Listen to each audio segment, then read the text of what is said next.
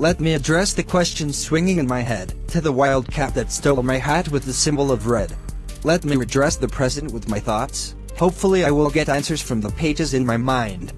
Dear wildcat, why is all your promises falling into a stony ground? Why separate the good from the bad, if there is no reason to spill the naked facts? Why keep us in the past, if the present can dance to the beat of the future?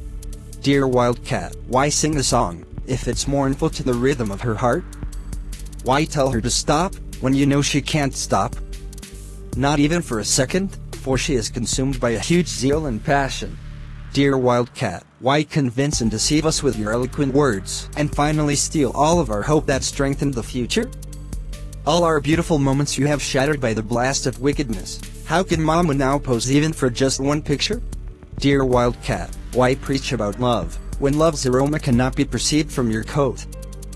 For even in your home we still can't taste love in our tongues.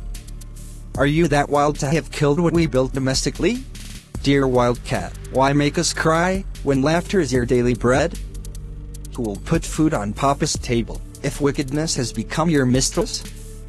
Tell me your reward for all this beautiful pleasure that is wrought in the eyes of my God?